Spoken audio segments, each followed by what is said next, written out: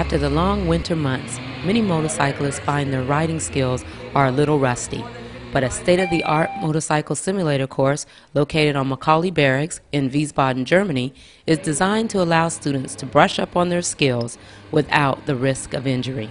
Here you can train how to react in an emergency situation, in an emergency braking or swerving around an obstacle in an emergency situation in a safe environment. Here you can drop the bike without injuring yourself or damaging the bike and you have the experience how to react correctly in an emergency situation. Participants have three class options at a variety of skill levels, including basic riding, motorcycle emergency situation, and advanced riding skills. Since I never was formally trained on how to ride a motorcycle, it was just get on one and take off. Um, it, it helped reinforce a lot of the basic skills that I missed.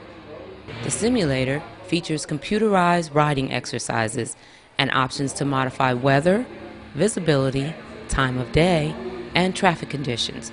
The course is taught and managed by the U.S. Army Garrison Wiesbaden Safety Office. Prior to the first course being held, the district managed a $390,000 electrical upgrade to the simulator building, which completed its transformation from a post World War II warehouse into the only motorcycle simulator in U.S. Army Europe. Yeah, I think there's value. Like I said, I think the value is mostly for beginners who've never ridden before. It definitely will help a beginner uh, learn some skills that can maybe even save their life. Carol Davis, U.S. Army Corps of Engineers, Europe District.